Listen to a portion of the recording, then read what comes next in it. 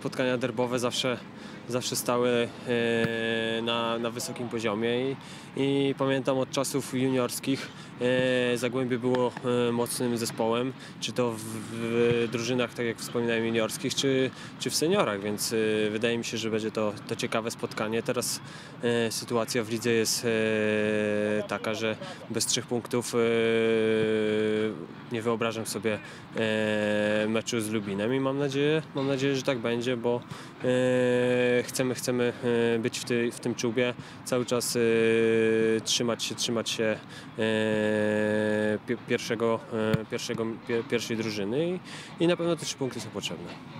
No raczej e, ze spotkań juniorskich e, wspomnienia kiepskie, bo e, Zagłębie zawsze miało silną, e, silną drużynę. Byli, byli to piłkarze z całego e, regionu tutaj dolnośląskiego, jak i nie z całej Polski e, rekrutowani do, do, do, do zespołów juniorskich.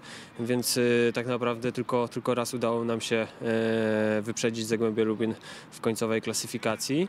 Ale zawsze te spotkania stały na, e, tak jak mówiłem, na wysokim poziomie, e, czy to, czy to w juniorach, czy to e, w pierwszej drużynie, więc myślę, że, że i tym razem będzie podobnie. No taką e, miłą ciekawostką jest to, że e, z Zagłębiem jeszcze w seniorach nigdy nie przegrałem i mam nadzieję, że tak pozostanie.